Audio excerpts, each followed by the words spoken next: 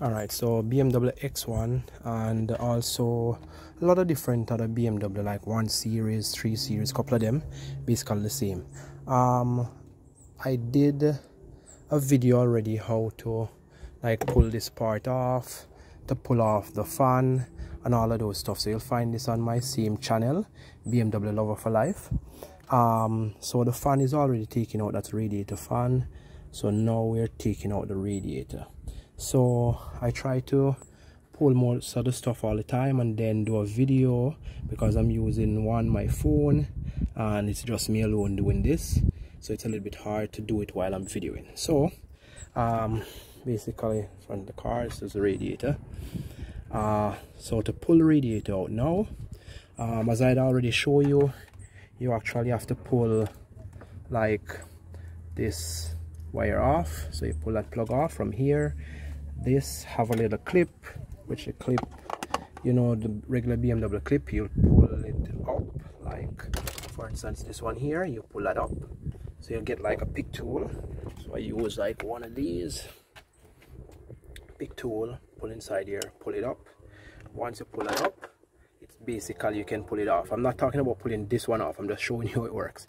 So I'm talking about this one down here. So you pull it up and then you'll have to take your time and kind of yank this off. It's a little bit hard to come off.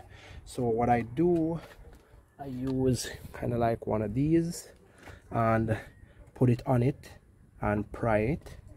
Meanwhile I'm using my next hand to kind of rock it like that. And I can you can go underneath the bottom of the car as well um, which you will have to pull off um, all of that from underneath the bottom and the reason being for that because you'll have to pull a bolt from underneath there which I'm going to show you as well.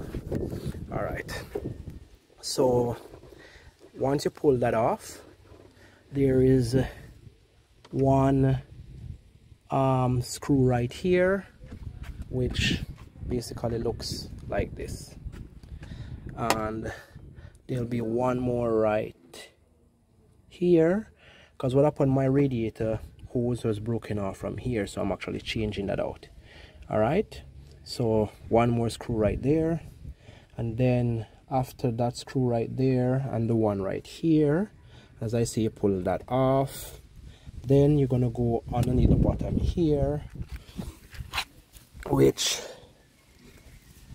on on on this here um well this would be there would be a screw on this that I show you already. That would be pull off the fan because you have to take the fan out. And then after that on this again right you will pull let's see if we can get that to focus. Sorry guys. Yeah.